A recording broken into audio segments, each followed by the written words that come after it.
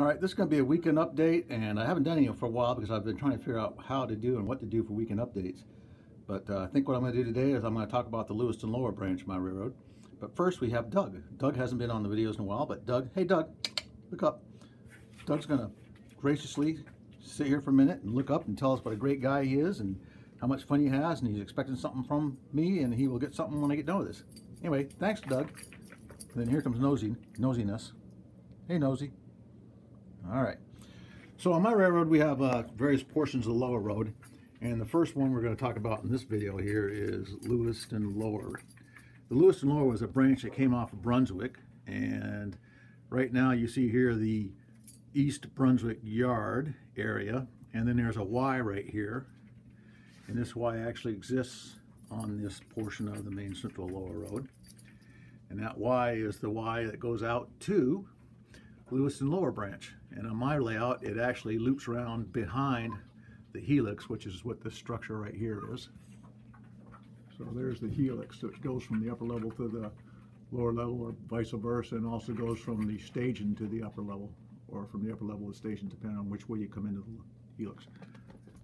So the Lewiston Lower Branch has uh, its own dedicated train at least in the 1970s, when I go back in the 50s, we actually have more than one dedicated train. We have like a mixed train and stuff, but uh, it comes out from behind the helix here. And then we have uh, a street here in Brunswick, which I don't remember the name right at the moment, but anyway, that street's gonna have some homes along it. Then we've got this crossing of the Androscoggin River, River and uh, this is pretty close to the actual size of the real bridge here. I actually wanted that to be a scenic element when you came down off the stairs. Still has some scenery here. Got to put a mirror behind on that road there, which is Route 1, and then do up this area right here. But uh, So we come down here, we go across Androscoggin, and in real life there were a couple of homes up in this area. I'm just going to show one. And in real life there actually was a road that went underneath this bridge across, which I chose not to put in here at this time. But uh, And today it's not there, but it, the abutments are still showing where you could have gone across. And it was actually a one-way drive under the bridge for the car. Then we get a little farther down the line and we go underneath uh, Interstate 295. And I've started, got a lot of work on that, but I still got to do the stripes and the weathering and stuff like that. And there's a whole lot of trees that need to go in here that I haven't added in. And you come down behind and this is the Pejepscot paper mill. We'll talk about that here in a moment, but on the upper part here, we have the line coming in here. And then we have the siding for Lisbon Falls. And at Lisbon Falls, we had the Lisbon Falls Chase Station, which was in pretty bad shape by this time. And there was a freight house, but that freight house by this time in the 1970s was used as a storage owned by somebody other than the railroad. And there's a passing siding here. This passing siding is used for holding uh, the train here while the switchers on this particular road will come down here. I'm trying to go slow here so I don't make everybody dizzy to the line that goes down to the Pejepscot paper mill. And this line actually goes down. It does have a runaround track just before you get to the mill. And then you have the mill tracks. I've got most of the tracks in here. There's actually two tracks in between the buildings there, but uh, space compression, I had could only put one in. And the other interesting thing I did with this is this is actually 180 degrees out from the actual track arrangement because of the way I had to run the layout around the house. But in the mill, you've got four loading doors here. You had the main office building. This is scratch built from a picture in Maine Central uh, in color volume one. And it's just reversed from the actual picture in the book. So again, everything in this mill is like it is on a good portion of the actual mill. It's just rotated 180 degrees out from the way it was there.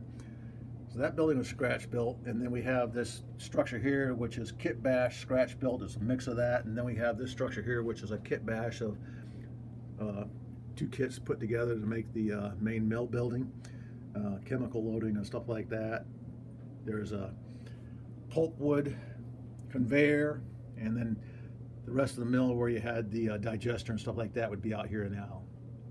But this job is uh, usually has about four or five cars or more. They get switched out during a run out here to Lewiston Lower. So we come around here and then uh, one thing I've done recently is the other thing I had was a uh, board mill. And I used to have it running all the way out this wall out to almost into that wall out here. I've actually cut it back and brought it closer in here because it was really hard to switch when everything was out underneath the upper level deck here. So this will make it much easier for operators to switch it. And they'll be uh, basically flat cars with uh, bulkhead flats with a wallboard to come out of this mill and then wood chips and chemicals and stuff on that stub track right there and then it'll be a whole building here. And eventually what I plan on doing is having the fold down table here and the dispatcher and his phone and all that setup will be right here the, the dispatch the uh, railroad during an operating session. Now this little section here is removable but uh, it's not designed to be removed easily it's just something removable I really have to get a, something in here because I have a kitchen and if I need to get the stove or refrigerator or something like that past here, I actually have to pull this all out to get that through here. So you come across that dropout or that lift out, and then you come into the what's the, there was a uh, plastics plant on Lewiston Lower. It was actually at Crowley's, but I've actually pushed it closer up to Lewiston Lower itself. And, and this is that plastics plant, and it gets hoppers with plastic pellets and makes plastic uh, irrigation parts and stuff. And I've actually named it after a friend named Fred Simpson, who was a good friend of mine in high school. Simpson Plastics. As you can see on the outside here, I've got the name of the industries as you come along here.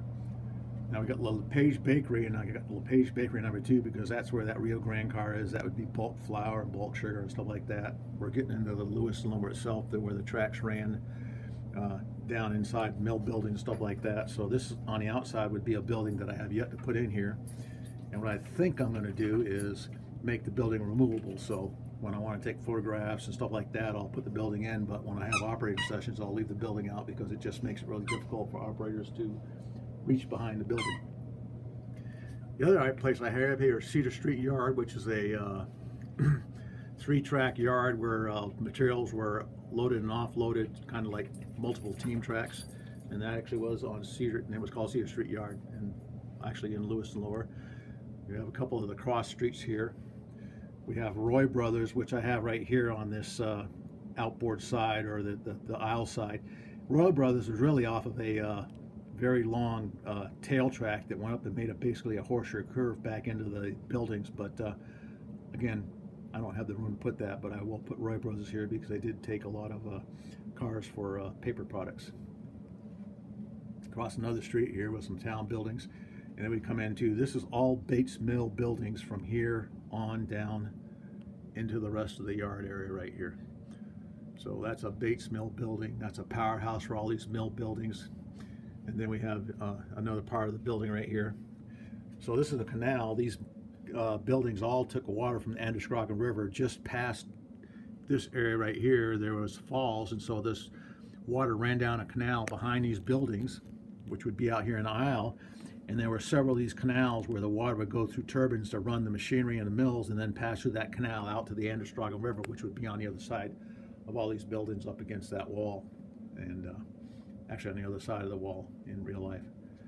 But the other thing about this is that this little yard here is almost to scale for the actual yard in Lewiston Lower. So it was a very small yard. You get about four or five cars in there and a caboose and then a engine and then they would basically pull their train from there. And then they also took the old freight station and turned it into a a uh, engine house and that's what I've depicted there. So that's the Lewiston Lower branch. It also has a Lewiston Lower switcher which does operate and service these industries down here in the yard and that's why the engine house is there. Either a 44 tonner or an Alco switcher. And you see the Alco switcher down there. I think I got 303 sitting in here right now. Yep.